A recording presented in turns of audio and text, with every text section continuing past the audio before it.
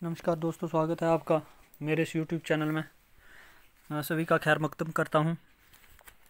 तो आज का टॉपिक जो है हमारा मॉडर्न हिस्ट्री पर है। हम मॉडर्न हिस्ट्री पर बात कर रहे हैं, जिसके हम कुछ क्वेश्चन जो हैं, उनको डिस्कस करेंगे आज।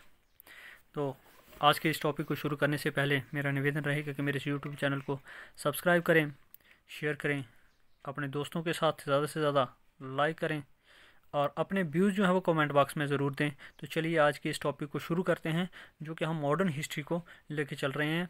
तो आज का हमारा जो पहला क्वेश्चन रहेगा, वो इस तरह है। Cornwallis code of 1793 separated option one है, किस चीज़ को सेपरेट किया था इन्होंने? Revenue collection for administration of civil justice option B है civil administration from judicial administration C option है Bengal administration from central administration और डी ऑप्शन है the civil administration from military administration तो किसके लिए इन्होंने ये सेपरेट किया था? किस चीज़ को सेपरेट किया था इन्होंने? सो राइट आंसर जो है इसमें बी पार्ट है। सिविल एडमिनिस्ट्रेशन को जुडिशल एडमिनिस्ट्रेशन से अलग किया था इन्होंने। तो इसमें था क्या कॉन बैलेंस कोड में? मेन चीज़ें क्या थी? ये जो कॉर्नबैलिस कोड था, ये 1793 में बंगाल में लाया गया था। एक ज़मींदारी सिस्टम यानी कि एक रेवेन्यू कलेक्शन स्कीम थी ये। परमानेंट सेटलमेंट लाई गई थी इसके तहत। इस कोड में 48 रेगुलेशंस थी और इस कोड में प्रोविजंस क्या क्या थे? ये किस किस फ़ील्ड से ताल्लुक़ रखता था? कौन कौन सी चीज़ों को कवर किया गया था? लैंड गवर्नेंस पुलिस जुडिशल और सिविल एडमिनिस्ट्रेशन को इसमें कवर किया गया था ताकि जो गवर्नेंस है, उसको इम्प्रूव किया जाए इंडियन टेरिटरी पर। तो ये इसका मकसद था मेन किसका? कॉन बैलेंस कोड का। नेक्स्ट क्वेश्चन है which of the following statement about Mahalwari system is not correct Mahalwari system से रिलेटेड कौन सी स्टेटमेंट करेक्ट नहीं है? ऑप्शन ए है under the Mahalwari system there were no middle man for payment of land revenue option B है village system was based on collection of individual land revenue demand from owner C है Mahalwari system created land holdings under cultivating class और option D है this system had the highest revenue demand among all system prevalent in India अब इनमें से कौन सा है? सो right answer जो है इसमें सी पार्ट है कि मालवारी सिस्टम जो है, वो उसने क्या क्रिएट किया था? लैंड होल्डिंग्स और लैंड को जो है, वो किसको? कल्टिवेटिंग क्लास को दिया गया था लैंड को। ठीक है? ये तीन सिस्टम में से एक था। दूसरे दो सिस्टम जो थे वो ज़मींदारी सिस्टम और रियोतवाड़ी सिस्टम थे। ज़मींदारी सिस्टम में लैंडलॉर्ड्स को राइट्स दिए गए थे और रियोतवाड़ी में इंडिविजुअल कल्टीवेटर को। और इसमें जो था, वो एक्सटेंशन की गई थी किसके लिए? हाउस या फिर डिस्ट्रिक्ट तक एक्सटेंड किया था और 1833 में लाया गया था ये। विलियम बेंटिक जो थे उस वक्त उन्होंने लाया था, जो कि गवर्नर जनरल थे उस वक्त। तो रेतवारी सिस्टम किसने लाया था? विलियम बेंटिक ने लाया था 1883 जिसका मेन मकसद था कि कल्टिवेटिंग क्लॉस को लैंड होल्डिंग राइट देना। नेक्स्ट क्वेश्चन है, which of the following was not one of the important result of British land revenue system? कौन सी चीज़ जो है उसमें ब्रिटिश के लैंड रेवेन्यू सिस्टम ने हेल्प नहीं किया था प्रमोट प्रमोशन नहीं मिला था उसकी वजह से किस किस चीज़ को। First option creation of a class of land holder तो ये भी क्रिएट हुई थी लैंड होल्डर्स की क्लास क्रिएट हुई थी। ऑप्शन बी है suddenly gave boost to the agriculture production तो ये एग्रीकल्चर को प्रोडक्शन जो थी, उसको बूस्ट नहीं मिला था। तो इसमें राइट आंसर बी होगा। कल्टिवेटर गार्ड सिक्योरिटी राइट्स तो ये भी कुछ हद तक जो थे उनको सिक्योरिटी राइट मिले थे। Deprived traditional land class of their control over the land और जो ट्रेडिशनल लैंड क्लास थी लैंड लॉर्ड क्लास जो थी, उसको इसने डिप्राइव कर दिया था क्योंकि इसने राइट जो थे, वो किसको, एक अलग क्लास जो थी कल्टिवेटर को जो है, वो सिक्योरिटी राइट दिए थे। उनको भी कुछ जो है, वो लैंड पर अधिकार दिए थे।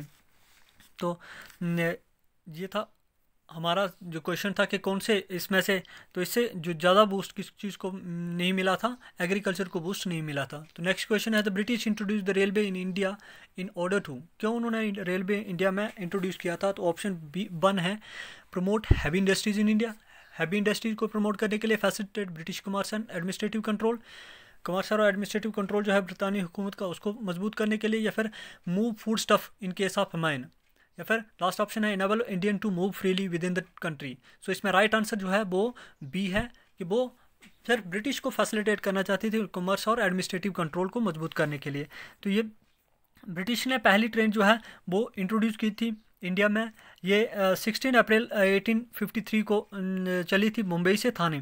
ये पहला रेलवे ट्रैक था। प्रेजेंट में की बात करें तो इंडिया जो है, वो फिफ्थ लार्जेस्ट रेलवे में फिफ्थ नंबर पर है पूरे वर्ल्ड में। इनका मकसद था कि वो फास्ट और क्विक जो है ट्रांसपोर्टेशन हो रॉ मटेरियल को वो कंट्री में कहीं भी रोटेट कर सकें, जिस तरीके से उनको ज़रूरत हो।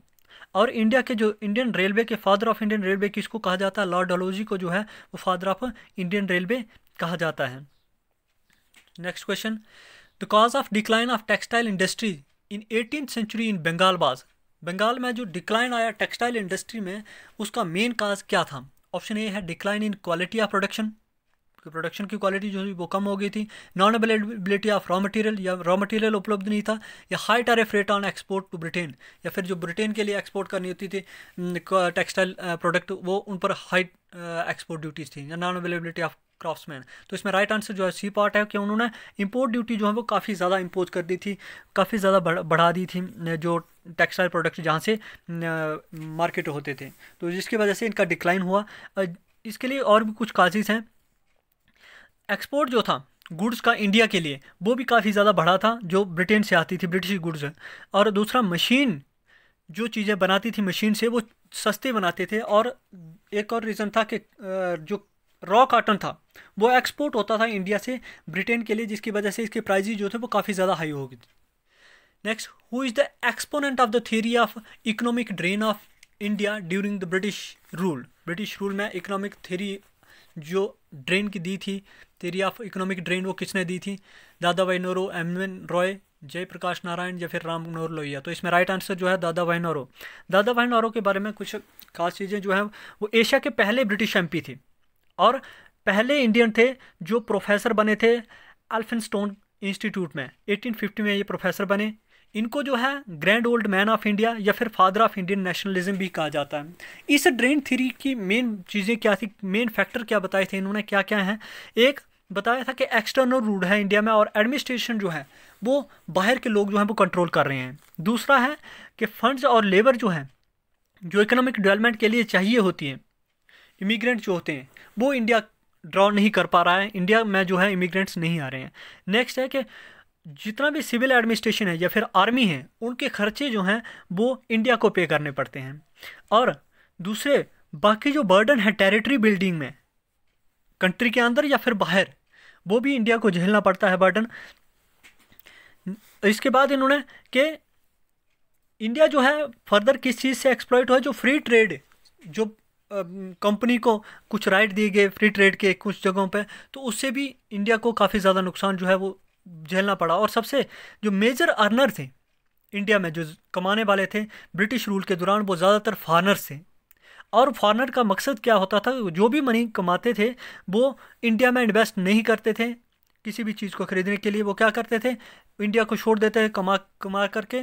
और यही नहीं, जो सर्विसेज़ इंडिया में प्रोवाइड करवाई जाती थी, जैसे रेलवे है वो भी इंडिया इंडियन लोगों से काफ़ी ज़्यादा अमाउंट जो है वो लेती थी ह्यूज अमाउंट जो है वो चार्ज करती थी इंडियन पीपल्स से जो सर्विसेज़ प्रोवाइड करवाई जाती थी। So next question the English introduced ryotwari settlement in कौन से एरिया में रियोतबारी सिस्टम जो है वो इंग्लिश ने इंट्रोड्यूस uh, किया था? ऑप्शन है Bengal presidency Madras presidency Bombay presidency और मद्रास एंड बॉम्बे प्रेसिडेंसी। तो राइट आंसर है इसमें मद्रास एंड बॉम्बे प्रेसिडेंसी में उन्होंने ये इंट्रोड्यूस किया था, रोजबारी सिस्टम था क्या? लाया किसने था? थॉम्स मुंड्रो ने लाया था 1820 में। इस रियोतबारी सिस्टम में क्या था कि जो ओनरशिप के राइट थे, वो लैंडेड लैंड के जो ओनरशिप राइट थे, वो पीजेंट को दिए गए थे। और ब्रिटिश गवर्नमेंट जो थी, वो डायरेक्ट टैक्सेस कलेक्ट करती थी फिर पीजेंट से। सिर्फ़ किसानों से डायरेक्टली वो टैक्स जो है, वो कलेक्ट करती थी इस रियोतवारी सिस्टम के तहत। Permanent settlement was a feature of कौन से सिस्टम का फीचर है permanent settlement zamindari system ryotwari system mahalwari system या फिर नन ऑफ़ द अब इनमें से या किसका भी, किसी का भी नहीं है। तो इसमें राइट आंसर जो है, ज़मींदारी सिस्टम हमने जैसे पीछे बात की कि जो ज़मींदारी सिस्टम है, इसका फीचर है परमानेंट सेटलमेंट ये ज़मींदारी, मालवारी सिस्टम में हम किस चीज़ की बात करते हैं? इंडिविजुअल कल्टीवेटर की रियोतबारी में पीजेंट्स की बात करते हैं हम, जिसमें हम हाउस होल्ड ले लेते हैं या फिर पूरी डिस्ट्रिक्ट को ले लेते हैं। नेक्स्ट क्वेश्चन है which factor influenced most to eliminate caste system in India कौन सी चीज़ ने ज़्यादा इन्फ्लुएंस किया इंडिया में कास्ट सिस्टम को कम करने के लिए? रैशनलिज्म जॉब अपॉर्चुनिटीज़ लेजिस्लेशन या फिर liberal education so right answer है इसमें रैशनलिज्म रैशनलिज्म ने काफ़ी ज़्यादा सपोर्ट किया इंडिया में कास्ट सिस्टम को एलिमिनेट करने के लिए, कम करने के लिए। Which amongst the following place was not a centre of revolution of 1857 इनमें से कौन सी जगह 1857 की रिवोल्ट नहीं हुई थी? ऑप्शन है अजमेर, जयपुर, नीमुच या फिर आराम।